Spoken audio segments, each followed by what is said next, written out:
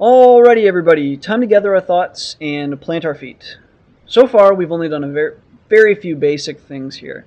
So it might seem like we've only just barely left the beach. But the reality is if we turn around we realize we're actually in very deep waters already and we are very far from the beach. Let's consider the current situation. We actually already have a lot of variables and these are going to need to be accounted for. Not only do we have explicit variables, right? we actually have these implicit ones as well. So our explicit variables are um, percent change as pattern recognition. So how are we actually recognizing patterns? Well, we've used percent change.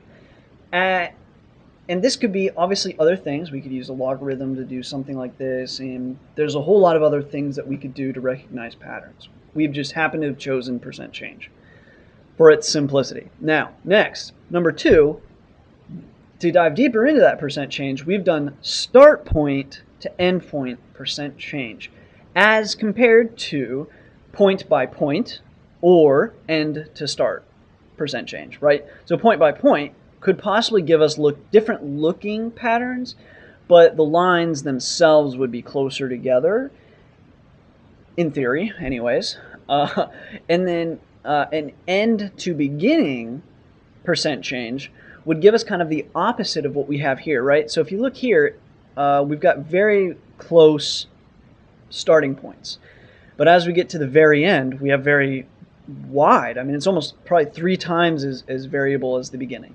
So if we were to reverse this, in theory it would be reversed, and therefore the end of the pattern would be more similar, and it could be argued that it was more likely for the end to continue, you know, to be more predictive or accurate in its prediction than in this format. But in my, at least in my opinion, theoretically, I would argue that really they're the same pattern. The only difference is this one has been, this one's reacting quicker, right? So I don't really think it makes a huge difference. But anyway, it is something on the table. Number three, we're using a fixed pattern length of 30 uh, pieces of, of data. That could be, we could do 31, we could do 20. We could do 30,000. We could, you know what I'm saying? Like we could do any number, right? And probably a good number would be anything between 10 and 1,000, really, since we are doing tick data here. So keep that in mind. So pattern length. Next, um, we're using a fixed value or, or weight of these patterns, no matter how old or fresh these patterns are. So if we're getting this pattern, we're comparing it to a pattern that we actually found. I mean, in this case, we're only using one day's worth of data. But in most cases, you would probably looking, be looking at years worth of data, and you would want to be comparing uh, your current data or your current pattern to years worth of patterns. But would you value a pattern from two years ago the same as you would value a pattern from like a week ago?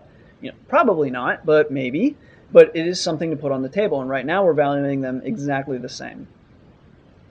Five, we are looking 20 to 30 points in the future to decide on the outcome. We're just averaging the outcome from 20 to 30 points in the future. Basically enough time to ex have executed a trade and held it for a few seconds and then maybe sold that trade.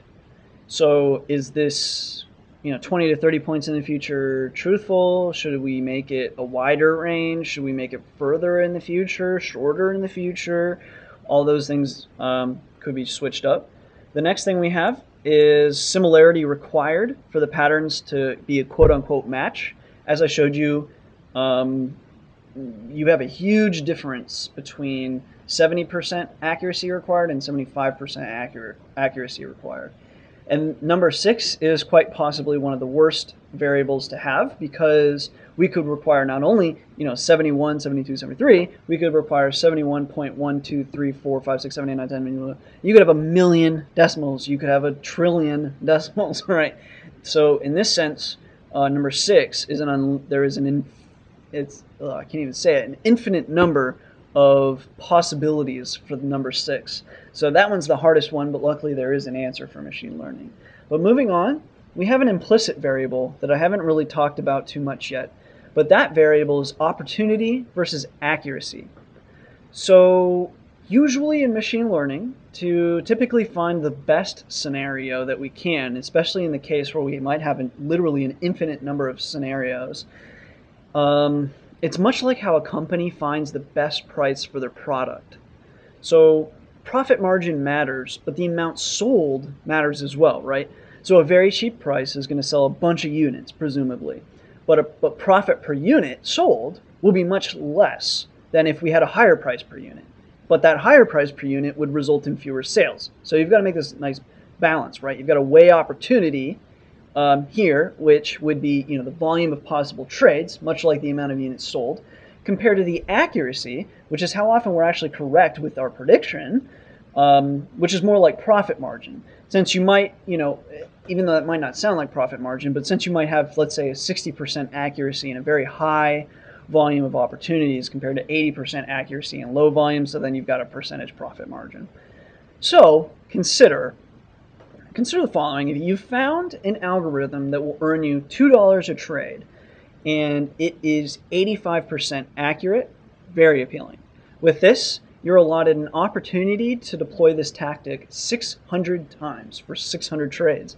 So that means you're going to, uh, at 85%, uh, you'd be successful with 510 of those trades. You would also lose 90 of them. So 510 successful trades at $2 a trade is $1,000 and $1,020. Sorry, Skype. Anyway, 90 unsuccessful trades at $2 a trade means you've lost $180. So your total profit in this scenario is $840. Let's consider another situation. You still earn $2 a trade if successful, but we actually, we've dropped. We're only 70% accurate. That said, with that 70% accuracy, it's a looser algorithm and gives you way more opportunity. You get 1,800 trades this time. So this means out of 1,800 trades at 70% accuracy, you get 1,260 successful trades for $2,520 in profit. This also means 540 trades are not profitable, so you, uh, you lose $1,080. But your total profit in the end is 1,440. Now compared to the old 840, that's much better. So the above example, even though it might sound like, well, that was a lot more trades for you know such a small movement in accuracy, that wasn't really an under exaggeration. So you just saw in the previous video how big of a change the move from 70 to 75 made. If we move from 70 to 85, I could show you, but it's going to be we probably won't even get. We this this chart probably won't even show up, right? So so that's um, it is as there's probably an under exaggeration as far as opportunity change. Also, you lose comparable patterns. The patterns that are actually very comparable, um, you lose them. So not only do you lose opportunity, I think you're you're sacrificing accuracy as well at the same time.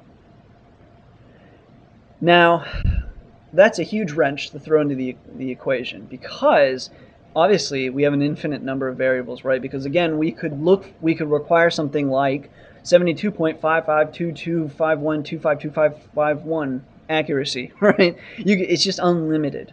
Um, and you could quickly find that you've got like an unlimited number of variables times another unlimited number of variables times another unlimited. So where do you even start, right?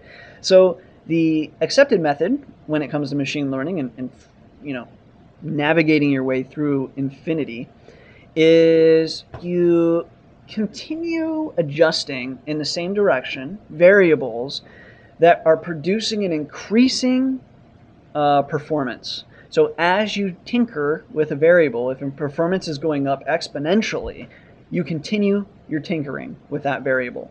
Okay, so um, so that's how you do it, and then you would continue tinkering until performance drops, right? And then you know you've found a, a decent balance point. That said, uh, as time goes on, it's very likely for all these variables to change, right? So as, as, volatility might change, or the overall economy, whatever, um, you're going to notice that the variables themselves uh, in the perfect balance is also changing. So that's what, what machine learning is for. And uh, this is kind of the downside to the idea of a neural network, which is most closely what we're doing here. And that's that it, you know, the, if you do a neural network, a huge neural network is the most accurate of, of probably even support vector machines. But until you can do the computation of that huge neural network, it's not uh, the best method. But um, here, at least for our, our needs so far, everything that we've done, even though Python is slow, um, it can be done in like C with a decent uh, computer. But we'll, we will talk on, on that a little bit more in depth in a future video.